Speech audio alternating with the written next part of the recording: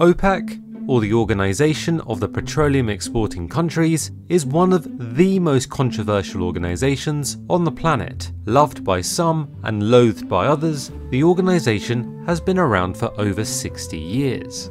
And during that time, it's had a huge impact, supplying over 40% of the world's oil and possessing a staggering 80% of total reserves. Headquartered in Vienna, a location chosen for its neutrality, OPEC's alleged purposes include coordinating the policies of its 13 member countries, ensuring the stabilization of oil markets, a steady supply to consumers, and perhaps most importantly, providing a steady income and fair capital return. Over the years, the biggest problem businesses, consumers, and governments alike have had is that it acts as a cartel, manipulating the production of oil amongst its members to influence global prices, something it has achieved through a variety of methods, including quotas, price bandings, and even secret output formulas. The way the cartel operates isn't new to the sector though. You see, before OPEC, there were the infamous Seven Sisters, referring to seven Western oil companies which by and large controlled world oil output. These firms dominated the industry by being vertically integrated across the five operations of the oil industry exploration, extraction, refining, transportation, and marketing.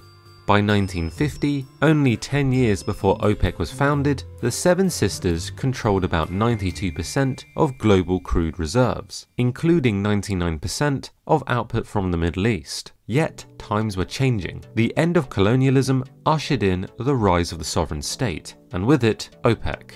Perhaps most famous for the 1973 oil embargo, which led to the tripling of the price of oil from 3 to $12 a barrel and a global recession. And that embargo has lingered on in people's minds, being a potent reminder of the impact OPEC can have to make or break economies. Well, at least that was historically. Analysts have speculated that in recent years, its grip on world oil markets has diminished. Since 2000, total world production of crude oil has grown by 17%, whereas the output of non-OPEC producers has grown even more, by 21%. Nothing outlines this shift more than the rise of new oil sources, particularly shale oil. Its meteoric rise has enabled the US to overtake Saudi Arabia to become the world's largest producer, but importantly, not the largest exporter. Nonetheless, this trend helps explain the emergence of OPEC Plus, a creative acronym which accounts for OPEC cutting output deals with non-members, most notably Russia. And these deals have quickly become important, with the 2020 crash in oil prices being blamed in part on the failure of Russia and Saudi Arabia to reach a deal on oil output, alongside the general crash in demand and its uses, suggesting OPEC, or at least OPEC Plus, is still by far the dominant player in the market. Now, for the purposes of this video, we are going to assume that OPEC never existed, as opposed to ceasing to exist. So, what would a no OPEC scenario look like? Imagining a counterfactual scenario of no OPEC doesn't mean its members wouldn't produce millions of barrels of oil.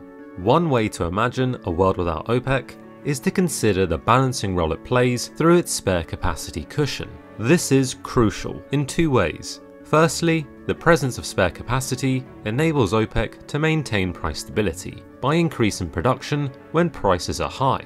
Secondly, when prices are low, OPEC can implement this spare capacity to lower output. Crucially, the idea of spare capacity is essential to OPEC's whole strategy. So, a good way to view a world without OPEC is to assume all members ignored spare capacity, producing at their maximum to gain revenue.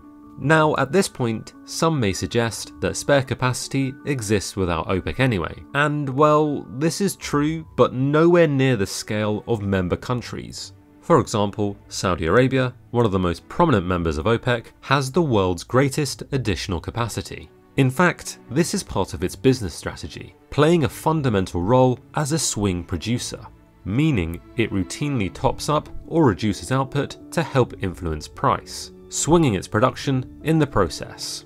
Any country which is a member of the International Energy Agency, which includes most of Europe, Japan, Australia, and the US, is required to maintain 90 days of net oil imports in public storage, but this isn't productive spare capacity, it's a fixed amount. So, what could be the impact of no spare capacity?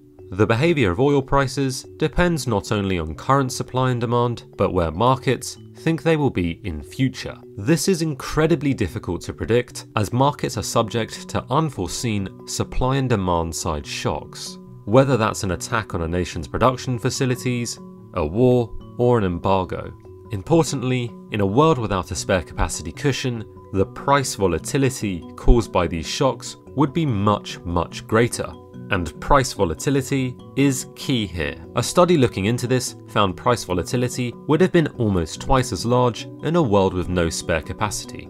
Now, if there is one thing economies, businesses, and households like less than higher prices, it's extreme volatility, which would make budgeting and effective decision making extremely difficult. Somewhat counterintuitively, despite the widespread belief that OPEC increases oil prices, there would have been regular periods where a non OPEC world would have in fact led to higher prices. You see, whilst maximum production would increase overall supply, limited spare capacity would have left very little in the tank, literally, to counter pinch points when demand spiked or supply was hit by an unexpected shock.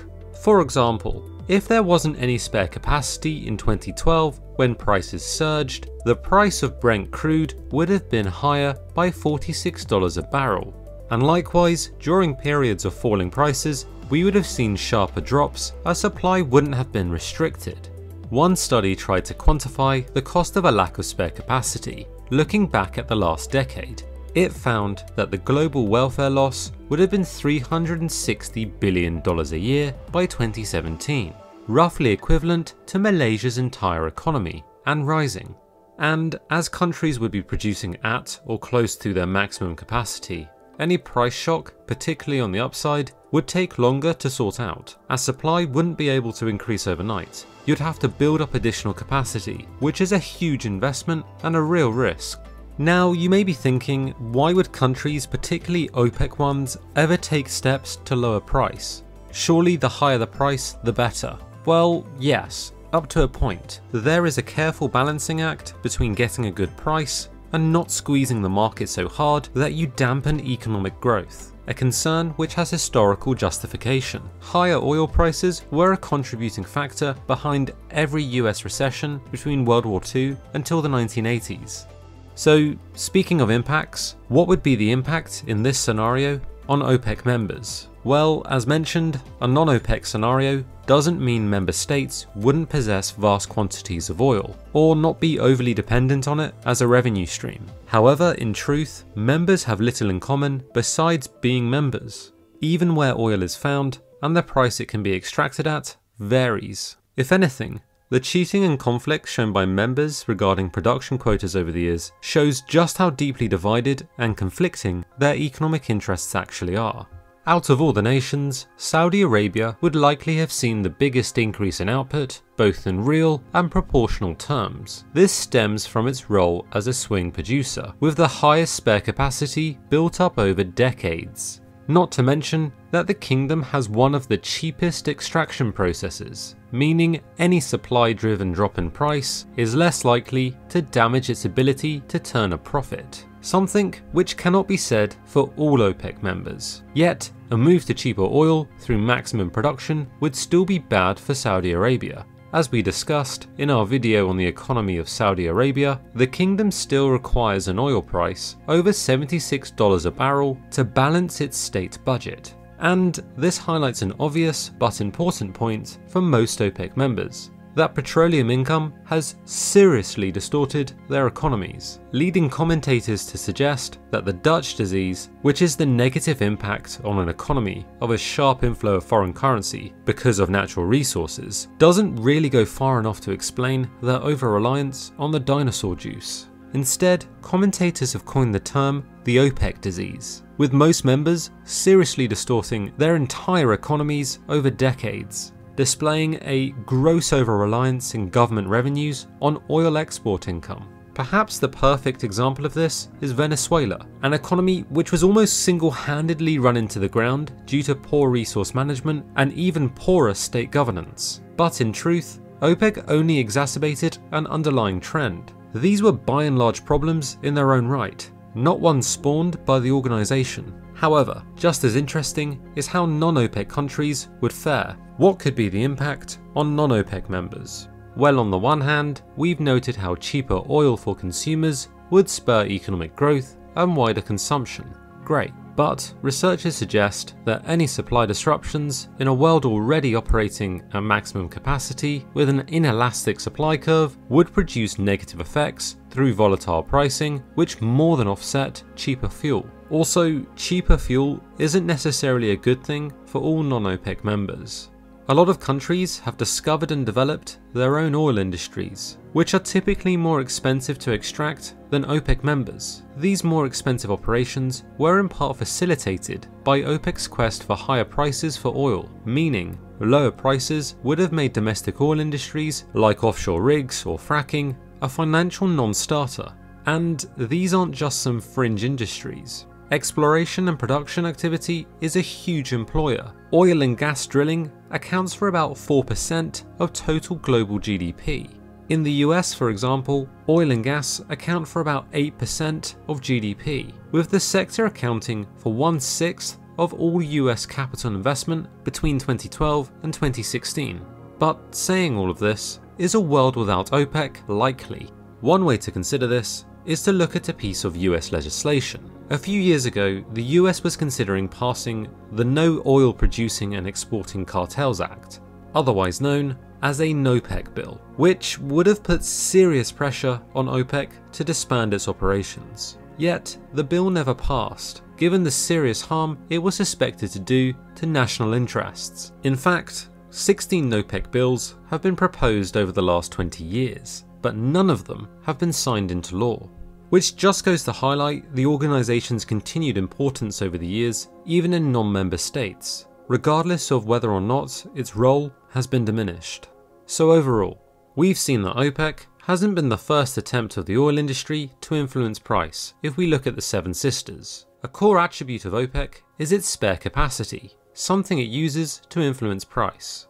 In the absence of spare capacity, production would most likely have been higher over the years, but so would price volatility, as supply struggled to match shocks to the market.